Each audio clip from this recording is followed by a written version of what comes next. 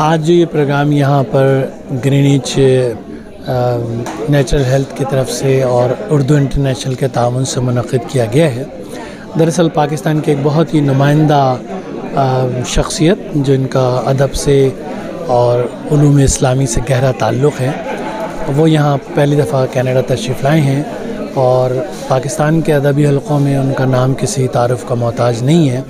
हमेशा से तालब इलमी के ज़माने से ही उनको लोग एक जहीन और बासलाहियत अदब शनास शख्सियत के तौर पर जानते थे।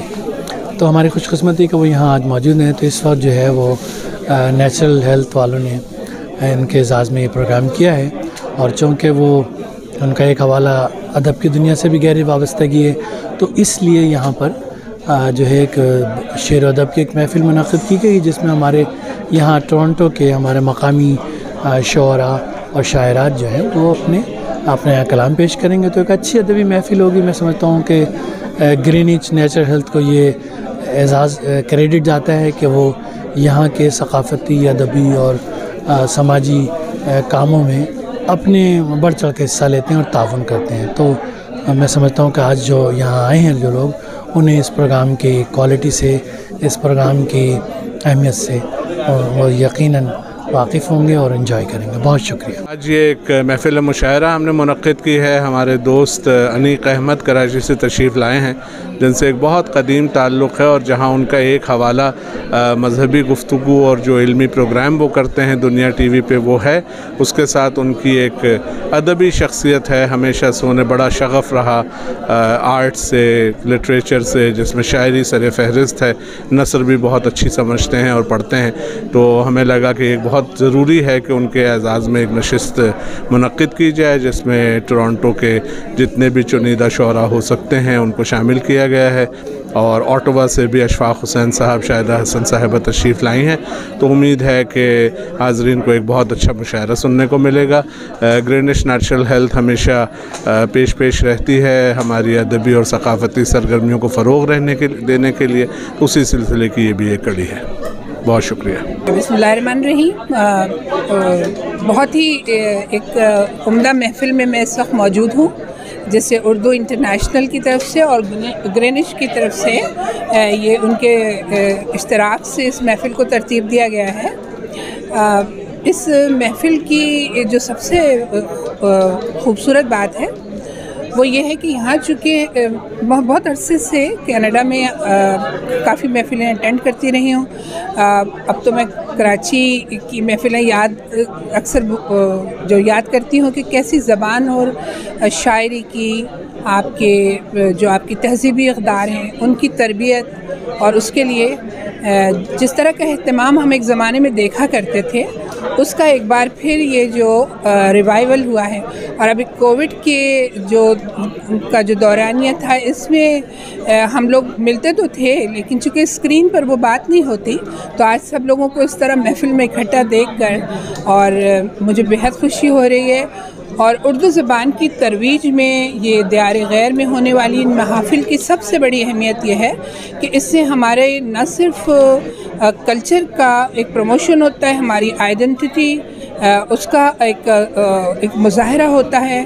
फिर कम्युनिटी की जो हमारी आपस की एक लुत्फ़ है, जो ज़बान और बयान का जो लुत्फ़ है, हमें जो आता है मिलकर बैठने से, जो शायरी की जमालियात है, जिसे हम इंजॉय करते हैं, वो सारी चीज़ें हमें इस एक महफ़िल में नज़र आ रही हैं। और इसका यकीनन हमारे जो नई नस्ल है, उसकी तरबियत, उसको ये देखना कि उन, उनके पास ऐसी महफ़िलों का कोई तस्वुर नहीं होता, मगरबी ममालिक में इस तरह की महफ़िलें बहुत ही कमयाब हैं। इनको तरतीब देना इतना आसान नहीं होता, लेकिन ये हमारे लिए यकीनन ये बहुत हमारे बच्चों के लिए भी एक अट्रैक्शन की चीज़ है कि वो उनमें एक अतमाद पैदा होता है कि उनके कल्चर में कौन कौन से रुख से खूबसूरतियाँ मौजूद हैं और कैसे वो अपने कल्चर की बहुत सी खूबसूरतियों को ख़ुद भी इंजॉय कर सकते हैं। तो मैं तमाम अहबाब को जो यहाँ आए हुए हैं, बहुत खुश हैं और यकीनन मुशारा शुरू होने वाला है। तो सब लोग शेर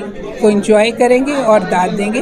और एक रिवायत की बाजियाफ्त जो है ना, एक हमारी सकाफ़त और रिवायत की बाजियाफ्त की ये खूबसूरत सूरत है। बहुत शुक्रिया। असलकुम बहुत बहुत शुक्रिया। अच्छा आपका सवाल है कि मुशारे जो हैं क्या? देखिए, ये एक हमारी कदीम तरीन तहजीब है मुशारे जो हैं। और मुशारे जो हैं, वो ये होता है कि इस वक्त आप देखिए कि जैसे ये महफ़िल है। और इसमें बड़े आपको एक से एक बाद आप शोरा सुनने को मिलेंगे। तो जो सामीन हैं, हमारे पास इस वक्त मौजूद है, उन लोगों का भी ओक़ जो है ना, वो मचता चला जाता है। उनकी समझ में आता चला जाता है कि शायरी क्या चीज़ है। अगर मुशायरे ना हो तो इतने सामीन इस वक्त जैसे आप यहाँ पे तो आप पचास साठ का मजमा देख रहे होंगे। लेकिन हम लोग जब जाते हैं तो कोई हज़ारों का मजमा जैसे मैं इंडिया गई थी तो वहाँ कई दस हज़ार का मजमा था। तो उसमें लोग जो हैं उनकी समझ में आता है अद ज़िंदा रखता है जोड़ के रखता है लोगों को। और ये हमारी एक ख़ास तहज़ीब का बहुत बड़ा हिस्सा है। इंसान के पास अगर आ, वो ज़ौक़ ना देखिए एक गज़ा रूह की होती है और एक जिस्म की होती है। तो जिसम की गज़ा तो हमें मिलती है, लेकिन रूह की गज़ा जो है वो हमें शायरी के ज़रिए मिलती है, अदब के ज़रिए मिलती है। तो अगर ये हम शायरे या ना हो तो हमारी रूह जो है वो भूखी हो जाती है, भूखी रह जाती है। और यहाँ कनाडा में, टोरंटो में इतने कमाल के शोरा मौजूद हैं, इस वक्त इतनी चाहे गज़ल के हों, चाहे नज़म के हों, आज इस ये टोरंटो जो एक, सरदार जाफरी ने एक ज़माने में कहा था कि ये स्कूल ऑफ़ थाट है। तो इसी तरह वाकई में कि इतने यहाँ पे रिच शायरी हो रही है अदब लिखा जा रहा है और वो नई नस्ल तक भी पहुँच रहा है। ये बहुत अच्छी सबसे बड़ी बात है। बहुत बहुत शुक्रिया आपका। लहर दर लहर ये कैसा है असर पानी में? डूबते जाए हैं सब मेरे शहर डूबते जाए हैं सब मेरे शहर पानी में। चार सौ एक समंदर है मगर लब तृष्णा। बूंद पानी की नहीं आती नज़र पानी में। चार सौ एक समंदर है मगर लब तृष्णा। बूंद पानी की नहीं आती नज़र पानी में। चंद अशार और पेश करके मैं इजाज़त चाहूँगा। आज सारा दिन इकबाल और दीन पे बात हुई अनिल साहब के साथ तो उसी हवाले से अगर हाँ। इकबाल जी की ज़मीन को वो कहते हैं कि तुश नहीं तेरा नशेमन कसर सुल्तानी के गुंबद पर तुशाही है बसेरा कर पहाड़ों की चटान तो उनसे एक शिकवे के अंदाज में चंद शाह। मैसर है फ़कत दरसी किताबों में फसानों में। नहीं करता बसेरा अब तेरा शाही चटानों में। नहीं करता बसेरा अब तेरा शाही चटानों में। और यही तकदीस की हमने, किताब किबरियाई की।